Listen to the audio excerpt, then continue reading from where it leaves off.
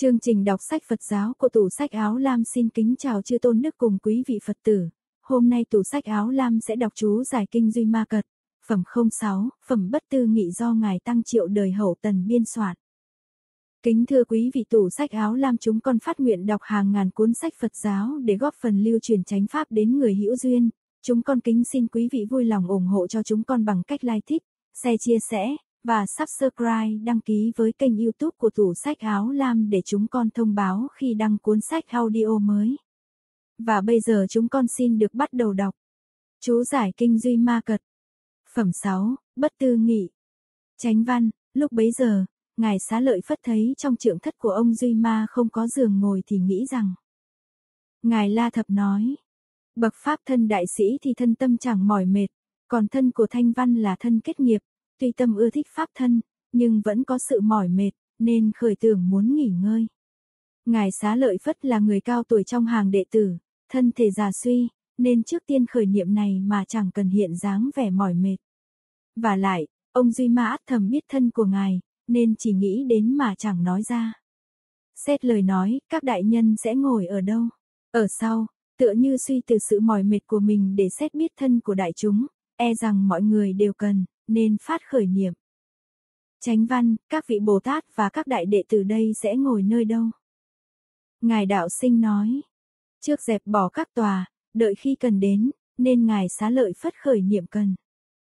Chánh văn, trường giả Duy Ma Cật biết ý niệm của ông ấy, nên nói rằng, nhân giả vì Pháp đến.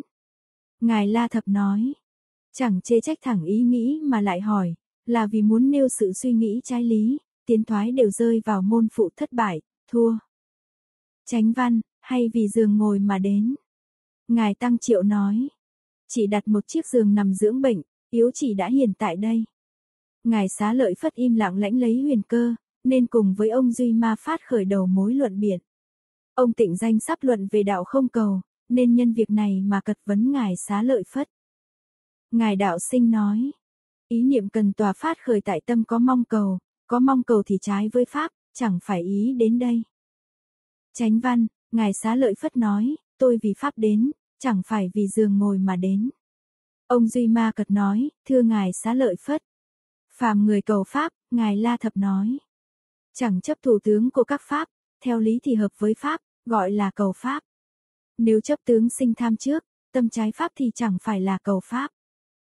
Chánh văn, chẳng tham tiếc thân mạng, huống gì là giường ngồi.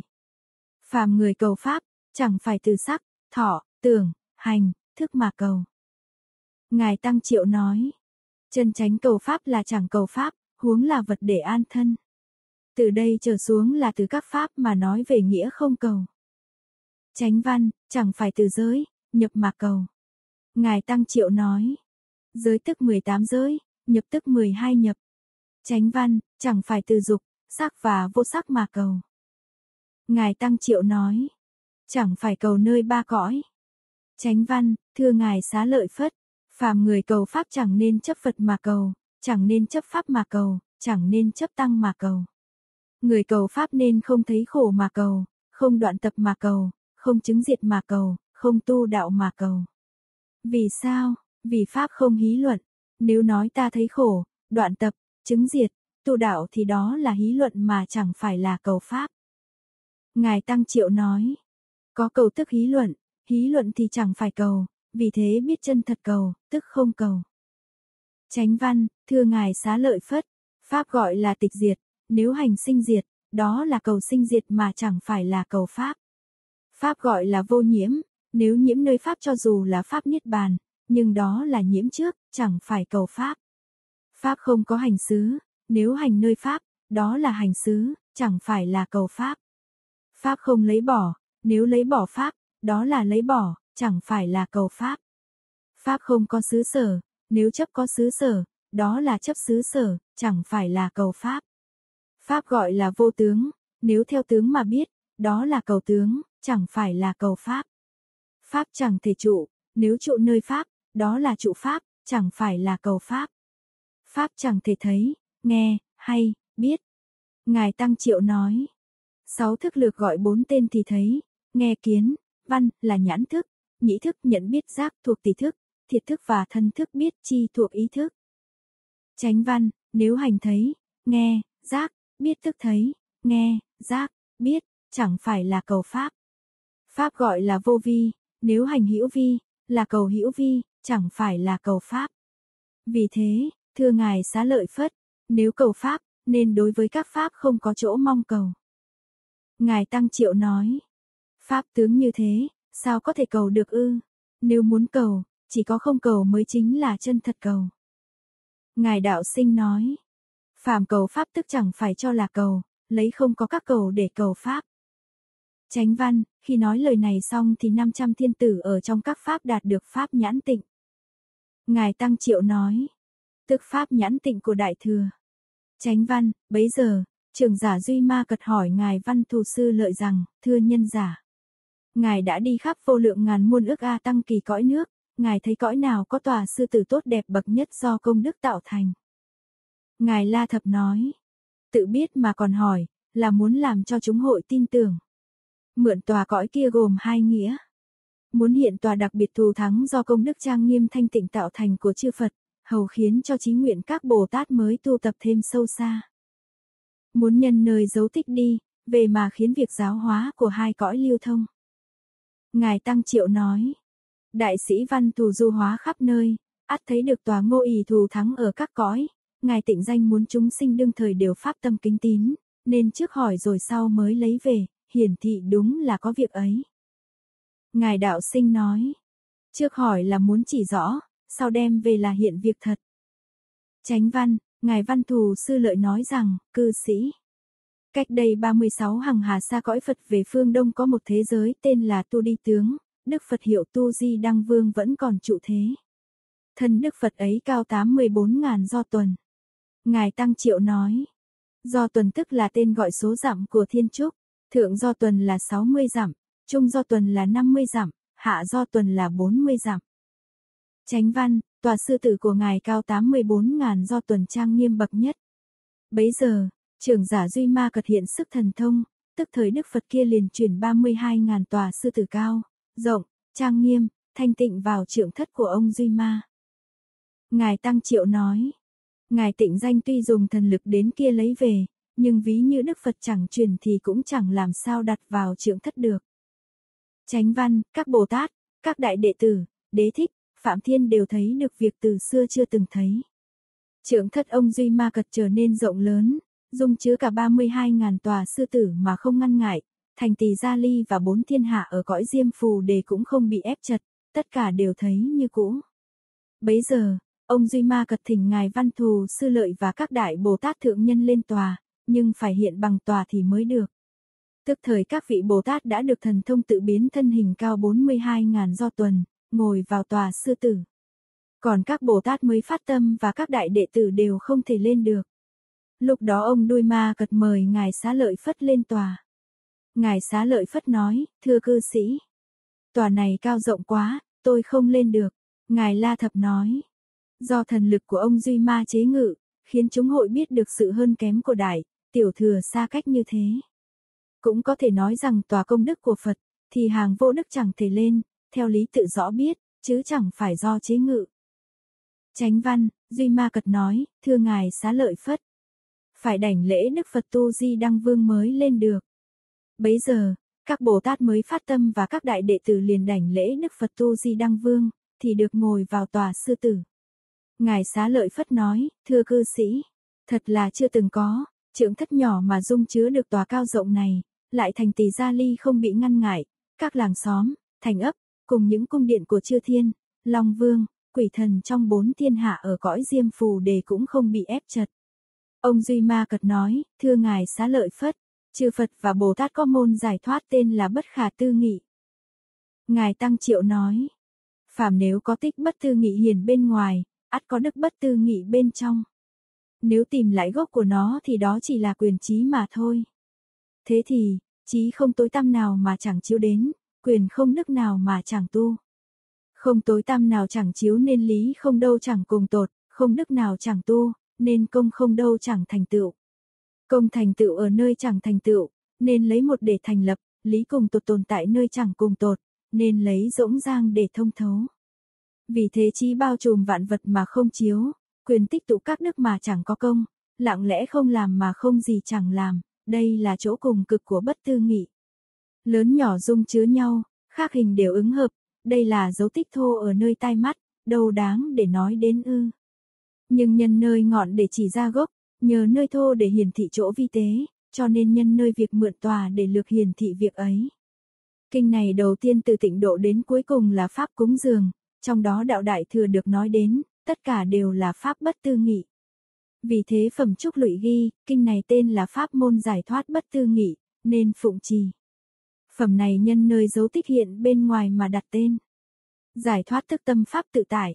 Đạt được sự giải thoát này thì phàm các việc làm, trong ngoài đều ứng hợp, tự tại vô ngại, đây chẳng phải là điều mà nhị thừa có thể nghĩ bàn. Hàng pháp thân Bồ Tát trụ địa thứ bảy trở lên mới đạt được giải thoát này. Bản khác ghi, thần túc, tam muội, giải thoát. Ngài La Thập ghi, cả ba đồng thể mà khác tên. Phàm muốn làm mà chẳng có khả năng thì bị trói buộc. Ứng nghiệm thức thành giải thoát, không đâu không có khả năng là giải thoát. Năng lực như thế mà chẳng biết vì sao như thế, nên gọi là bất tư nghị. Chánh văn, nếu Bồ Tát trụ ở giải thoát này thì có thể nhét núi tu đi to lớn vào hạt cải mà không thêm bớt, bản tướng của Tu Di Sơn Vương vẫn như cũ. Ngài La Thập nói, Tu Di là đất tinh diệu, đây là địa đại. Sau nói nước, lửa, gió, đất là bốn đại. Người mê hoặc cho rằng bốn đại có thần cũng cho rằng rất lớn, thường hằng. Nay dùng đạo lực chế phục là để nói chẳng có thần. Nhét vào hạt cải là nói chẳng lớn. Lớn nhỏ dung hợp nhau, vật không một thể nhất định là nói bốn đại đều chẳng thường. Đây đều là phá sự chấp trước, thông sự ngăn trệ để trừ khử thói quen, khiến có đường trở về tông chỉ. Chánh văn, mà chưa thiên cõi trời đao lợi và tứ thiên vương chẳng biết chẳng hay mình đã được đưa vào đó. Chỉ có người được độ mới thấy núi tu di nhét vào hạt cải. Đó là pháp môn giải thoát bất tư nghị, lại cho nước bốn biển lớn vào lỗ chân lông mà các loài thủy tộc như cá chạnh, thuồng luồng không bị khuấy động, bản tướng của biển vẫn y như cũ. Các loài quỷ, thần, Atula, không biết mình đã vào đó, các loài chúng sinh này cũng không bị loạn động. Thưa Ngài Xá Lợi Phất, Bồ Tát trụ ở môn giải thoát bất tư nghị này, cắt lấy cõi tam thiên đại thiên thế giới nhanh như bánh xe quay của người thợ gốm, rồi đặt vào bàn tay phải ném qua khỏi những thế giới nhiều như số cắt sông Hằng, mà chúng sinh trong đó không hay không biết mình đã đi đâu, rồi đem thế giới ấy đặt vào chỗ cũ, chúng sinh vẫn không tưởng rằng mình có qua lại, bản tướng thế giới này vẫn như cũ. Thưa Ngài Xá Lợi Phất, hoặc có chúng sinh nào thích ở lâu nơi thế gian mà có thể độ được, thì Bồ Tát kéo dài 7 ngày thành một kiếp. Ngài La Thập nói, người mê hoặc cũng cho rằng, thời gian là pháp thường, nên khiến dài ngắn thay đổi để hiển thị chẳng thường. Chánh văn, làm cho các chúng sinh ấy tưởng là một kiếp. Hoặc có chúng sinh chẳng thích ở lâu nơi thế gian mà có thể độ được, Bồ Tát lại rút ngắn một kiếp còn 7 ngày, khiến chúng sinh kia cho là 7 ngày. Thưa Ngài Xá Lợi Phất, Bồ Tát trụ ở pháp môn giải thoát bất tư nghị có thể gom hết tất cả việc trang nghiêm của các cõi Phật chỉ bày cho chúng sinh. Bồ Tát đặt tất cả chúng sinh trong một cõi Phật vào lòng bàn tay phải của mình, bay qua mười phương, chỉ bày tất cả, mà chẳng làm bản xứ lay động. Thưa Ngài Xá Lợi Phất, những phẩm vật cúng dường chư Phật của chúng sinh trong mười phương, Bồ Tát đều khiến cho tất cả đều hiện trong một lỗ chân lông. Lại tất cả mặt trời, mặt trăng, các vì sao trong mười phương cõi nước, Bồ Tát cũng làm cho tất cả đều hiện trong một lỗ chân lông. Thưa Ngài Xá Lợi Phất, gió ở mười phương thế giới, Bồ Tát đều hút vào miệng mà thân không hề bị tổn hại, các cây cối bên ngoài cũng không bị siêu ngã, gãy đổ. Lại khi lửa ở kiếp tận thiêu đốt mười phương thế giới, Bồ Tát hút hết lửa vào bụng, lửa vẫn cháy mà không làm hại thân. Lại từ các cõi Phật cách đây hơn hàng hà xa cõi nước về phương dưới, lấy một cõi Phật đặt lên phương trên cách hằng hà xa thế giới nhẹ nhàng như cầm một cây kim nâng một lá táo, không làm nhiễu loạn. Thưa Ngài Xá Lợi Phất, Bồ Tát trụ ở môn giải thoát bất tư nghị này có thể dùng thần thông hiện làm thân Phật, thân Bích Chi Phật, thân Thanh Văn, thân Đế Thích, thân Phạm Vương, thân Thế Chủ, thân Chuyển Luân Vương. Các âm thanh lớn, vừa, nhỏ trong các cõi nước ở mười phương đều biến thành âm thanh Phật diễn nói các pháp vô thường, khổ, không, vô ngã và các pháp mà chư Phật trong mười phương đã nói, khiến cho tất cả đều được nghe. Thưa Ngài Xá Lợi Phất, nay tôi chỉ nói lược qua thần lực giải thoát bất tư nghị của Bồ Tát, nếu nói rộng ra, thì cùng kiếp cũng không thể nói hết. Bấy giờ, Ngài Đại Ca Diếp nghe nói pháp môn giải thoát bất tư nghị của Bồ Tát, liền ngợi khen là điều chưa từng có và nói với Ngài Xá Lợi Phất rằng, như có người bày các sắc tướng trước người mù, người mù chẳng thể thấy được, nay tất cả thanh văn nghe pháp môn giải thoát bất tư nghị này thì cũng không thể hiểu được. Còn người trí, ai nghe được mà chẳng phát tâm vô thượng bồ đề. Tại sao chúng ta tuyệt mất căn lành ấy, thành hạt giống hư thối trong pháp đại thừa? Tất cả thanh văn nghe pháp môn giải thoát bất tư nghị này thì đều kêu gào khóc lóc, chấn động cả tam thiên đại thiên thế giới. Ngài Tăng Triệu nói, chỗ sai trái rất nặng, nên tạm nói là kêu gào khóc lóc. Hàng nhị thừa sầu bi vĩnh viễn trừ diệt, khóc ít còn chẳng có, hà huống chấn động tam thiên. tránh văn, các Bồ Tát thì vui mừng kính tin thọ nhận pháp ấy. Ngài Tăng Triệu nói, Ngài Ca Diếp muốn nói sự khác biệt của đại, tiểu thừa, khen chê nghe nhận đúng thời, cho nên nói người chẳng có phần thì dẫn đến khóc lóc tuyệt vọng, người đã có phần thì nên vui mừng vâng lãnh. Chánh văn, nếu có Bồ Tát nào tin hiểu pháp môn giải thoát bất tư nghị này, thì các ma không thể làm gì được. Ngài Tăng Triệu nói, chỉ tin hiểu mà ma chẳng thể khuấy động, hà huống gì người thực hành ứng hợp. Chánh văn, Ngài Đại Ca Diếp nói lời này xong, 32.000 thiên tử phát tâm vô thượng bồ đề. Bấy giờ, ông Duy Ma Cật nói với Ngài Đại Ca Diếp, thưa nhân giả. Tất cả những vị làm ma vương trong vô lượng A tăng kỳ cõi nước ở mười phương, phần nhiều là các Bồ Tát trụ ở pháp môn giải thoát bất tư nghị, vì muốn dùng sức phương tiện giáo hóa chúng sinh nên hiện làm ma vương Ngài Tăng Triệu nói. Nhân Ngài Ca Diếp nói người tin hiểu pháp bất tư nghị này thì ma chẳng thể nhiễu loạn, mà mười phương cũng có các Bồ Tát tin hiểu bị ma nhiễu loạn, đó là muốn nói các việc làm tự tại của Bồ Tát trụ ở bất tư nghị sách tấn người mới học, cho nên hiện làm ma vương, chứ chẳng phải năng lực của ma vương. Ở đây nói về bất tư nghị cũng là để thành tựu cho ý của Ngài Ca Diếp. Chánh văn, thưa Ngài Ca Diếp, vô lượng Bồ Tát trong mười phương, hoặc có người đến xin tay chân, tai mũi, đầu mắt, tủy não, máu thịt, da xương, xóm làng, thành ấp, vợ con, nô tỳ, voi ngựa, xe cộ, vàng, bạc, lưu ly, sa cừ, mã não, san hô, hổ phách, chân châu, đồi mồi, áo quần, thức uống, ăn, người đến xin này là Bồ Tát trụ ở pháp môn giải thoát bất tư nghị dùng sức phương tiện đến thử thách để đạo tâm vị Bồ Tát kia thêm bền vững. Ngài La Thập nói, Bồ Tát có kết nghiệp đối với bố thí ba la mật sắp thành tựu nhưng chưa được rốt giáo, nên Bồ Tát trụ ở bất tư nghỉ đến cưỡng bức cầu xin, khiến xa lìa hoàn toàn tâm tham tiếc, cùng tột kiên cố. Lại cũng khiến cho chúng sinh biết tâm kiên cố đó, và cũng khiến Bồ Tát tự biết tâm kiên cố của mình. Ngài Tăng Triệu nói, phàm thử thách phát xuất từ nơi người chưa có phần, còn bậc đại sĩ trụ bất tư nghị, thần thông đã đầy đủ, có thể thấy được căn cơ của người, đâu có gì gọi là thử thách. Nhưng muốn tâm kia kiên cố, nên chẳng cần mà đến xin. Chẳng cần mà xin thì đồng với hành tích của ma đến thử thách, vì thế mà dùng từ thử thách, chứ đâu phải đợi thử thách rồi sau mới biết ư. Chánh văn, vì sao? Vì Bồ Tát trụ ở bất tư nghị giải thoát có oai đức mạnh mẽ, nên có thể thực hành việc bức bách như thế, hầu chỉ cho các chúng sinh những việc khó làm. Còn kẻ phàm phu thấp kém không có thế lực lớn thì chẳng thể bước ngặt Bồ Tát được. Ngài Tăng Triệu nói, cắt tay chân của người, chia lìa vợ con của người, cưỡng xin quốc thành, tài vật, làm cho người sầu bi, thì tuy có gây cho người một ít đau khổ trước mắt, nhưng mai sau họ sẽ vĩnh viễn hưởng kiếp an lạc. Đó là do quán rõ được căn cơ của người, nặng nhẹ đều có cân nhắc. Người thấy gần mà chẳng đạt được ích lợi xa thì chẳng thể làm được việc này. tránh văn, ví như loài long tượng dày đạp thì lừa ngựa chẳng thể chịu đựng nổi. Ngài Tăng Triệu nói, lấy có khả năng và không khả năng để dụ, voi mạnh nhất trong loài voi gọi là long tượng. Chánh văn, đó gọi là môn trí tuệ và phương tiện của hàng Bồ Tát trụ ở bất tư nghị giải thoát. Ngài Tăng Triệu nói, trí tuệ là thông đạt được chỗ sâu xa, phương tiện là dẫn dắt chỉ dạy những điều gần gũi. Vì thế mà hình tích sai biệt hiển hiện, các loài được thành tựu.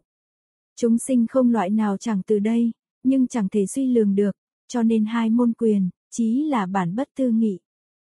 Tủ sách áo lam xin cảm ơn quý vị đã nghe hết chú giải kinh Duy Ma Cật, phẩm 06, phẩm bất tư nghị do Ngài Tăng Triệu đời hậu tần biên soạn. Xin quý vị đừng quên ủng hộ tinh thần cho tủ sách áo lam bằng cách like, subscribe và chia sẻ video này đến với mọi người. Chúng con xin hẹn gặp lại quý vị vào phẩm 07 quán chúng xanh.